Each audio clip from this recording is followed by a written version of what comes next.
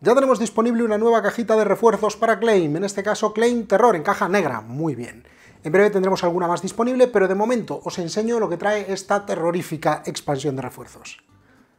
Pues aquí está el contenido de esta expansión de Claim. Tenemos, por un lado, una nueva facción, 10 cartas de zombie, que va desde la mano saliendo de la tumba hasta el zombie ahí ya totalmente medio muerto con la, con la cabeza. La facción de zombie no tiene mucho en particular, simplemente si ganamos una baza con un zombie, la carta jugada por el oponente va a nuestra pila de simpatizantes. Luego tenemos la facción de los vampiros, que va desde el murcielaguito hasta el vampiro aquí, o los vampiros más grandes, o vampiresa más grandes. Los vampiros tienen una peculiaridad, cuando ganamos una, una baza de vampiro, una carta de vampiro, la dejamos aparte, y podremos meter debajo de esa carta todas las que queramos de otras facciones, es como si los convirtiese. Si ganamos otra carta de vampiro no cuenta, solo contará la que tengamos. Eso sí, si ganamos otra después y queremos podemos intercambiarla, pero perderemos a todos los seguidores, y al final pues los seguidores sumarán su valor.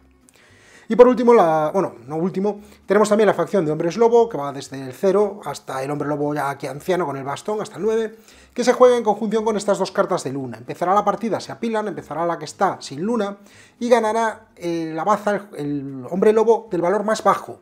Y cuando un hombre lobo gana una baza, se le da la vuelta a la pila. Cuando está activa la carta de luna llena, ganará el hombre lobo con el valor más alto, y se le vuelve a dar la vuelta a la pila cuando algún hombre lobo gane. Y por último, en cuanto a facciones, tenemos las facciones de las sombras, que tienen 20 cartas, a diferencia de las demás, de las cuales solo jugaremos si las cogemos con 10. Mezclaremos las 20, cogeremos 10 al azar, las que salgan, y las otras las retiraremos sin ver. Por último, tenemos nuevos héroes que podemos utilizar junto con la expansión de refuerzos para meterlos también en la, en la partida. Si os gusta Claim y queréis variar las razas, aquí tenéis tres nuevas razas, cuatro nuevas razas, contando las sombras, que siempre se me, se me pasan, para variar vuestras partidas y meterles un toquecito de terror.